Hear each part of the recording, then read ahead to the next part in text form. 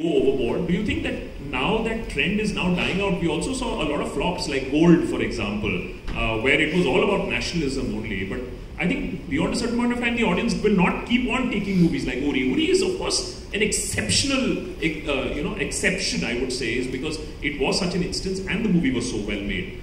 So you wait till films titled Pulwama will release because they, those titles have been registered right, right after the attack because Uri made so much money.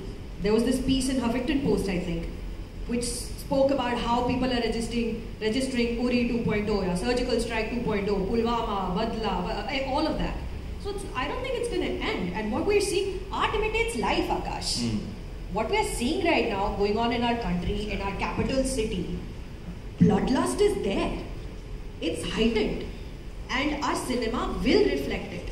I am not very happy at that prospect. I am not. It's come to a point where watching a film like Chhapak is considered anti-national because the actor decided to go and stand in solidarity with university students. So that anger uh, is bursting forth, that kind of agitation. Uh, it's really unfortunate because uh, we are a free nation still.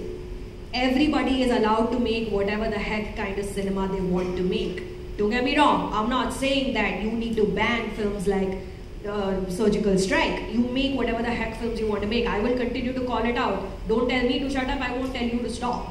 But this is not going away.